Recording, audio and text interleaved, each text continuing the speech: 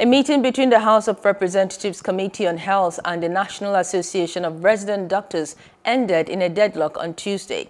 According to the association, the agreements reached are not favorable to the doctors. The Reps Committee convened the meeting which started on Monday. Naval Outpost Onitsha, Anambra State has described as false alleged killing of two of its personnel during a gun duel in suspected members of IPOB.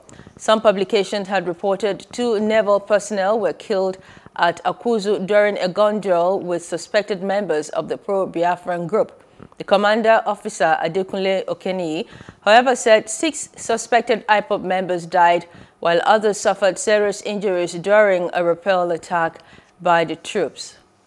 Hello. Hope you enjoyed the news. Please do subscribe to our YouTube channel and don't forget to hit the notification button so you get notified about fresh news updates.